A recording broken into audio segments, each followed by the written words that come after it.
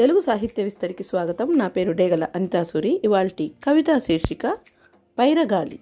ఈ కవిత ఆంధ్రభూమి దినపత్రికలోని మాతృభూమి అన్న శీర్షికలో ప్రచురింపబడింది.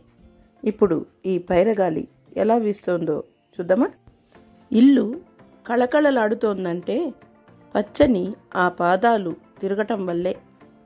ఇల్లు కళకళలాడుతోందంటే పచ్చని ఆ పాదాలు తిరగటం వల్లే వంటల్లో కమ్మదనం ఊరిస్తే గాజుల చేతుల్లో అమ్మదనం వల్లే. వంటల్లో కమ్మదనం ఊరిస్తే గాజుల చేతుల్లో అమ్మదనం వల్లే. మోవిపై చిరునవ్వులు పూసాయంటే కాటుక కళ్ళలో వెన్నెల వల్లే.